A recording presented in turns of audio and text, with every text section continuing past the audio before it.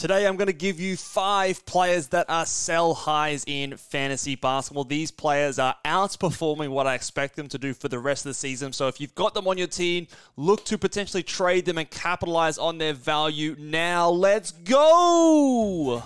Jordan open. Chicago with the lead. Bryant to Shaq. Not a game, not a game. We talking about practice.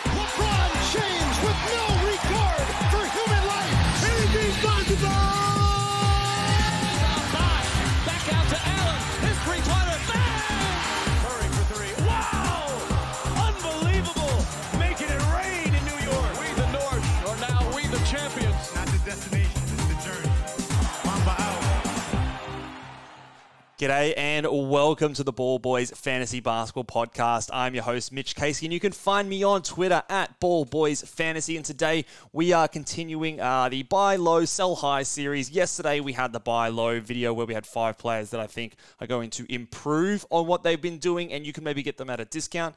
Today we are talking about five players who are a sell high that are probably going to drop down eventually. And if you can get them for what they're producing at the moment or close to, then I think in the long term you're going to be winning out. So we're going to talk about five players. There are obviously more players that we could talk about, but these players to me are at least the most, uh, I want to say obvious, but also I think the most maybe potentially executable trades that you could potentially do in your leagues. Um, and yeah, this is just a good exercise as well to make sure that we are staying across what is happening in the NBA and make sure we are keeping our own expectations in check as well. Because a lot of the times we see what's happening and we think it's just going to continue the way it's been going, but a lot can change in the span of two weeks, which is how often I'm going to be doing these videos. So that is the point, I guess, of this exercise. If you haven't already, go and check out the podcast where we did the buy low videos after you've watched this one here. But let's start off with probably, in my opinion, maybe the most obvious and the biggest uh, sell high candidates on this list today, and that is Jonas Valanciunas, who is absolutely tearing it up at the moment and bringing the blocks along this season, which is a big reason as to why he is a, um, you know, his value and his ranking is up a lot higher. He is at the moment on the season the 37th ranked player, but if you look at his last two weeks especially, he is ranked 39th in minus one, 32nd in, uh, sorry, 22nd in nine category leagues, and 24th in Yahoo points leagues. Um, and the big reason for this one here is the fact that he's getting really randomly 3.1 assists. He's also getting 2.1 blocks per game in the last uh, last two weeks. He's doing well in terms of his usage, which is all fine. Like the points and rebounds, I think are maintainable. The minutes are probably a little bit high. I do expect the minutes to drop down a little bit at 25.7, nearly 26 minutes per night over the last couple of weeks. But the assists and the blocks are to me levels that we have never seen Jonas ever do before. Um, he is typically normally a guy that averages 0.7, 0.8 blocks per game. So he is over nearly basically tripled that uh, over this stretch, which again, low volume category. Don't let that sort of taint or, or, change your perspective of him. It is still very early in the season. We've only had 14 games in the season from Jonas, so his 1.7 blocks on the season is very misleading. I still think that um, that is going to definitely come down. Uh, with those low volume stats, it's just one or two plays, um, and that can change a lot of his value, and they can be very sporadic. So I do believe that he is a very clear sell high. In my projections, I have him closer to the 100 range mark. I still think he could be solid when it comes to field goal percentage, uh, points, rebounds, and he's not going to kill you from the free throw line as well. But he is not a guy that gives you assists, steals, um, and he's more of a you know 0.8 blocks guy than uh, above one block per game player as well. So he is someone that I think is a clear um, sell high value player. So if I can get someone who's even top 75 for Jonas, I think that I would do that. If, for example, um, the other thing that I think we can be doing with Jonas and or worry about Jonas is the fact that he is potentially going to be um, a victim of when someone like a Herb Jones and a CJ McCollum comes back into this squad because Right now, another player we're going to talk about in a second, but Herb Jones. So, did I say Herb Jones coming back? Uh, Trey Murphy, when he comes back. So Herb Jones is playing really well right now. You've obviously got Brandon Ingram. You've got Zion Williamson. When CJ returns, he's going to be into the starting lineup. How does Trey Murphy fit in there? I think what I would be wanting to do if I was the New Orleans Pelicans is I'd want to be playing those four players that we just mentioned.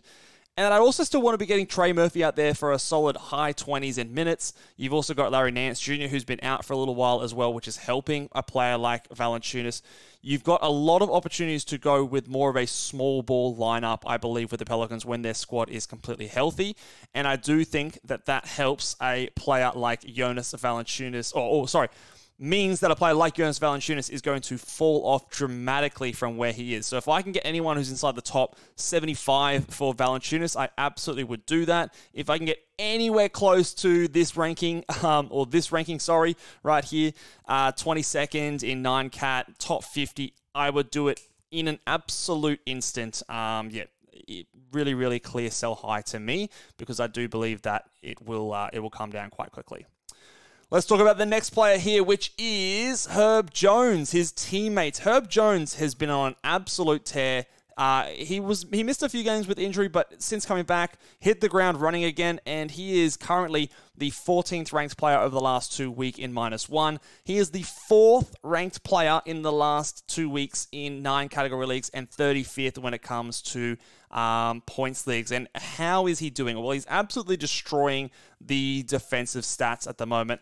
In the last um, two weeks, he's been averaging 2.8 steals, 1.8 blocks. He's also uh, it is on small sample size, only four games because he did miss that time, but he's getting five assists per game, which is well up from what he's been doing in the past. He's also getting one and a half threes and shooting an insane 59% from the field and 87.5% from the free throw line. So everything is up for Herb Jones.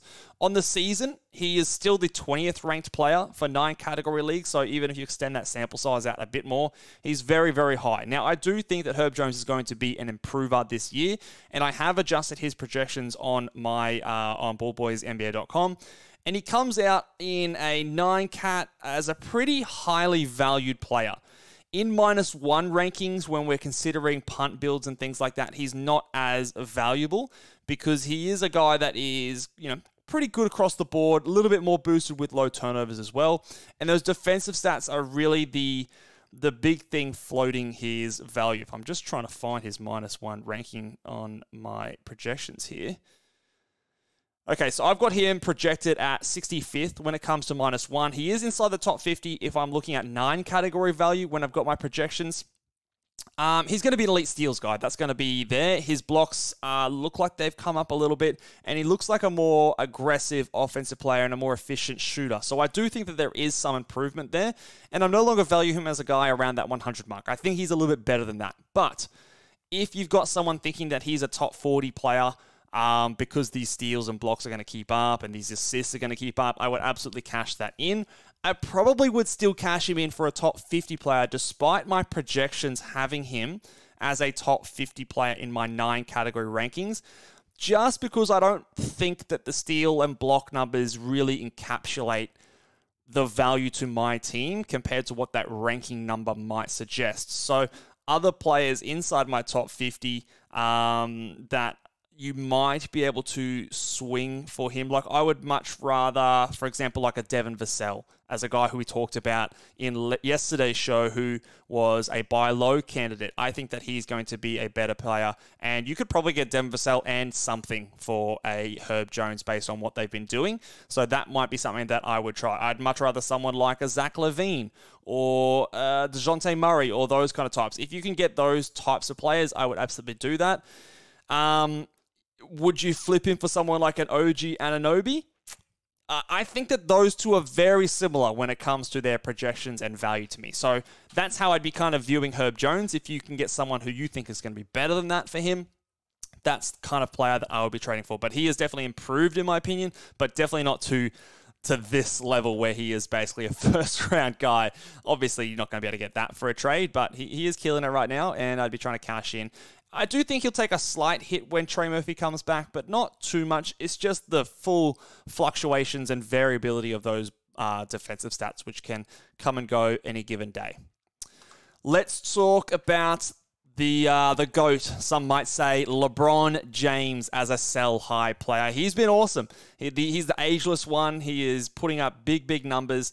And so far, he is averaging 34.4 minutes per game. He is the 15th ranked player in nine category leagues on the season. In the last two weeks, he is the 8th ranked player for minus one, 12th in nine cat, and 8th in points leagues on Yahoo's default scoring. And uh, it's a little bit trickier for Yahoo points leagues because I think him being 8th is a realistic thing for you to expect uh, for him for the rest of the season. That is definitely something that I would not be shocked if he's a first round top six or seven player for points leagues. That's fine. So he's less of a sell high there, but I still think he is a sell high because of the fact that the man is turning 39 soon.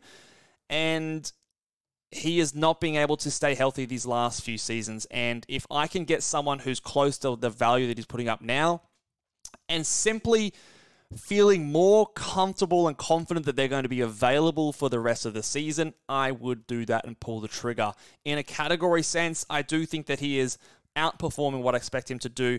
The biggest thing that we can point to here is he is averaging 1.7 steals per game, and that is just something that he is not going to do for the rest of the season. Now, he has had a bit of up and down in terms of his steal numbers of the past several years. Last year, he averaged 0.9. Year before, it was up at 1.3. Year before, that was between the two at 1.1. So, could he average 1.3 steals for the season? Yeah, he could, but it's still a big difference between 1.3 and 1.7. He's also averaging 0.8 blocks, which again, he's had a season in 21 22 where he averaged 1.1. So it's not out of the realm of possibility, but he's also two out of the last three seasons averaged 0.6. So I do think that there's a little bit of scope for those numbers to come down. And you factor that in with the fact that he is 39 years old, or very close to 39 years old, and that injury risk is quite high because of that. He's playing huge minutes after that first game where they thought they were going to limit his minutes. That's clearly not happening. He's questionable basically every game just because the Lakers love to do that. But if I can get someone who's top 25, probably top 30 in category leagues uh, for LeBron James, I'd pull the trigger, be happy with the production that I've got from him so far, and just kind of get out unscathed until the uh, before the wheels, I believe, fall off when it comes to his health and injury and I think his production will go back down to that kind of a level anyway. But he is obviously killing it. He's got the big name associated to him as well, so it's LeBron freaking James. You can use that in your narrative when you're trying to trade him. He's, you know, you know, he's going to beat Father Time and he's he's he's a cyborg or whatever you want narrative you say, so that people aren't as nervous trading for him. You might be able to get good value back for LeBron, but I do believe that he will come back, especially in a category league. And I am uh, still concerned of the fact that he's going to at some point this season miss uh, a decent chunk of time. Let's talk about another guy who I was probably higher on than a lot of other people in the preseason, John Collins, who has thus far been a very solid player for us in fantasy basketball. On the season, he is the 59th ranked player in nine category leagues. In the last two weeks, he is the 44th in minus one, 43rd in nine category rankings, and 56th when it comes to Yahoo points. This was a guy that people were drafting closer to pick 100, and I do believe that he presented some value at that spot. But I do think there are a few things here that maybe inflate his ranking numbers and maybe inflate everyone's valuation of how he's been going um, compared to what he actually has been doing. So, what's been going well the last couple of weeks? Well, he's been hitting two threes per game. Um, his scoring is up. His um, rebounding is up and his blocks up. So he's blocking two shots per game in the last two weeks. That's going to be basically sliced in half, I believe. He's probably closer to a 1, 1.1 block per game guy. His reboundings are up at 9.6. Last year he was at 6.5. I did cite that as something that I thought that could improve, and I do think it will. I think he'll be closer to 8 rebounds, but you take off, you know, nearly 2 rebounds per game from that last two week average, and that is going to drop his ranking. You drop the threes down from two threes per game to closest to 1.3, 1.4. That also then drops the points down as well. So a few areas that are just going to come down a little bit. The blocks basically being sliced in half. And you've got a fair way to fall when it comes to the ranking. So if you can get someone who's top 50, top 60 for a John Collins, I would 100% do it. I think he'll settle in closer to the 75 to 80 range. Um, he's a really good player when you're punting point, uh, sorry, punting assists and steals, or one or uh, one or the other of those categories, um, because he is solid in a lot of other areas. But he is also a guy that um, you know, it's not, uh, a- there's no super high strength when it comes to his game. He's not going to be, you know, a, a huge boost in any one category. He's just kind of above average in a lot, which is fine. It's good, has use in a lot of teams.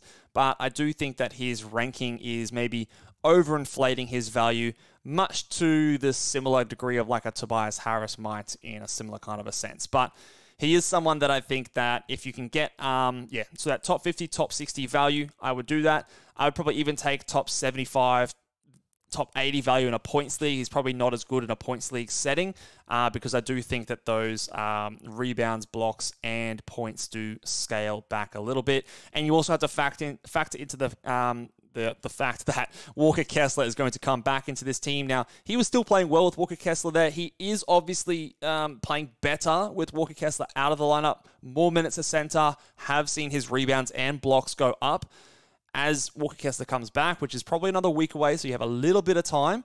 Uh, to execute this sell high, but it's usually better to do it earlier than right before because people are always onto it. Um, that will definitely cause his value to drop a little bit. I don't think he's going to be completely gone or, or evaporated, but I do think that the um, you know it just scales back a little bit. And uh, yeah, if you can get a couple rounds of value for a John Collins who, you know, point to the fact that he's in a new situation and he's been a top 50 player two out of the last three seasons, then you might be able to execute a sell high here. The last one, the fifth player, is probably the most difficult sell high because it's the most obvious one, and it is Duncan Robinson. But I'm going to put him here anyway because he is someone that he's playing really well right now and surprised me. I didn't think that he still kind of had this in him, but he is doing a really good job. In the last two weeks, he is the 59th ranked player in minus one, 56th in nine category. He's not as good of a points league, though, at 93rd in Yahoo points, but still, I do believe that that is still a sell high in points league because he might be someone we don't roster in a little while in points leagues and maybe even in category leagues as well because it's the biggest thing here. He's the one who's benefited the most with Tyler Herro being injured. Now, I do think he might be able to hold on to some value even when Tyler Herro comes back, but he is shooting uh, insane right now 3.9 threes per game in nearly 35 minutes. The 35 minutes is definitely going to come down. The usage, I do also believe, will come down a little bit as well. He still will have his use as a three point guy. Maybe he can average two to two and a half threes per game uh, in a smaller role when Herro was back. But 3.9 is one of the best in the league.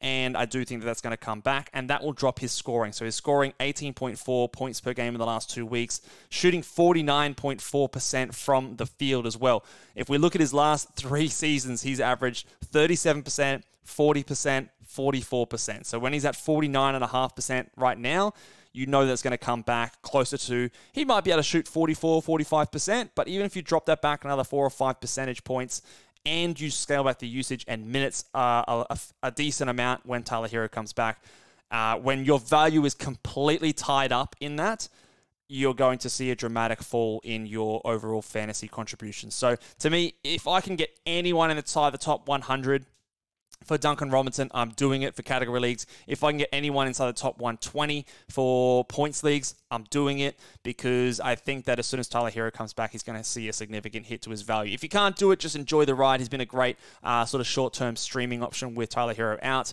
Uh, but yes, I do think that pretty obviously Duncan Robinson is going to fall back and not perform this well uh, when the team is healthy. All right, that is our sell high video, guys. Let me know down in the comments section below if you believe there's anyone else that you are considering trading or selling high.